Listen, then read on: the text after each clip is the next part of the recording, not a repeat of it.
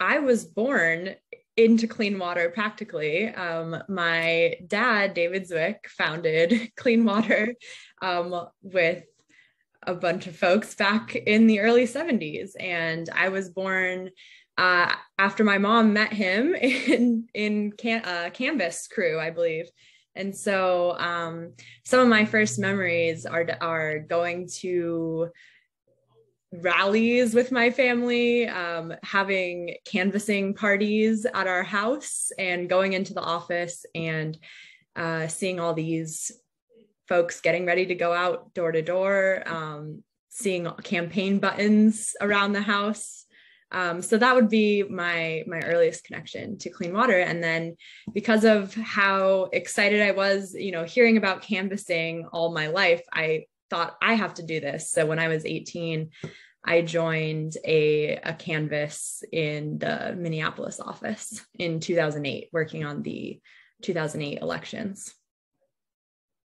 Do you up in the family that I did with clean water action always around um, and seeing how passionate my dad was about organizing about making change and um, it really, you know, instilled those values in in me. And I also, you know, learning about the environmental justice movements around um, how racism within the environmental movement and how that has held us back from achieving um, important gain, you know, just achieving environmental justice in general um, really i think got me interested and passionate about food and food justice. Going to school, there was a lot of farming around me. So I ended up doing a lot of work with youth and with uh, farming and economic development.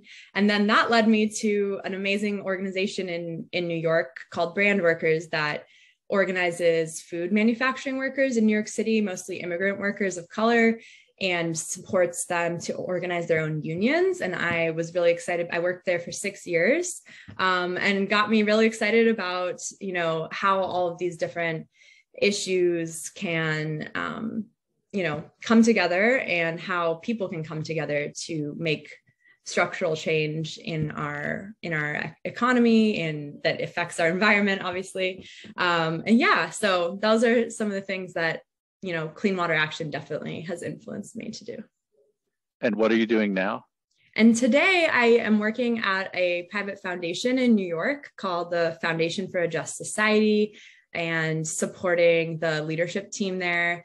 And um, the foundation works on uh, supporting gender justice and LGBTQ led movements around the world. And, uh, you know, this kind of intersectional approach obviously has been informed by all of these experiences, including Clean Water Action.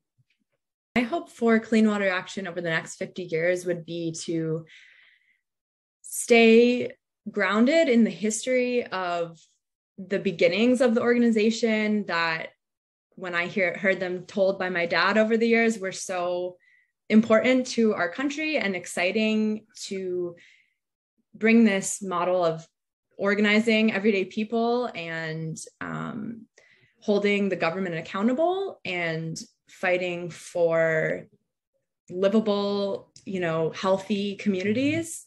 I would bring that staying grounded in that type of vision and that type of history bring that towards the fights of the next 50 years including obviously climate change which is going to harm all of us is already harming all of us and is so interconnected with with water. Um, over the next 50 years i would hope that we, i can see clean water continuing to build real trusting collaborations and partnerships um, with, with various groups um, working on environmental justice in this country and and beyond